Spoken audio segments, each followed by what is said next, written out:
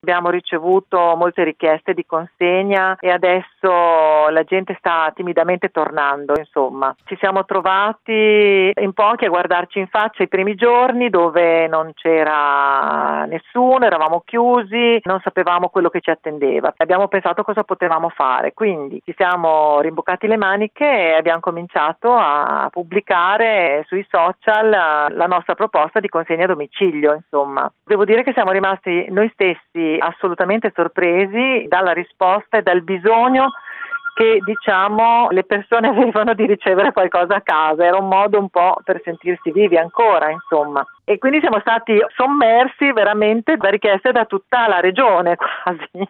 Secondo lei, in un momento come questo, il fatto di, eh, non so, acquistare una pianta piuttosto che sistemare il proprio balcone, cioè le persone hanno bisogno di bello?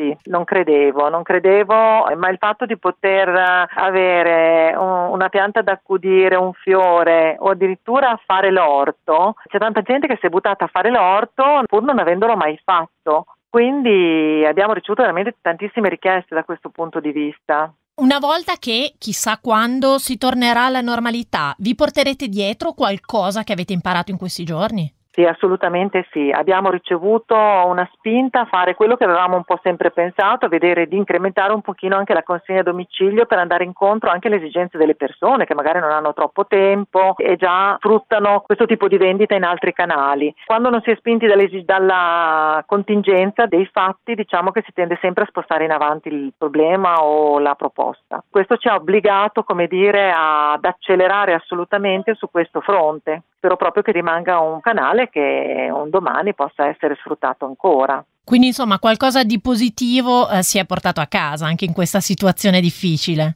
Ma noi abbiamo vissuto anche il terremoto perché siamo in piena zona rossa del 2012, quindi ogni, tra virgolette, catastrofe o situazione molto difficile. Porta in sé dei lati negativi ovviamente, ma sicuramente la possibilità di portare a casa dei nuovi spazi commerciali o di sviluppo, quindi bisogna sempre stare con le antenne dritte per cercare di capire quale opportunità cogliere, ecco, credo che sia importante questo.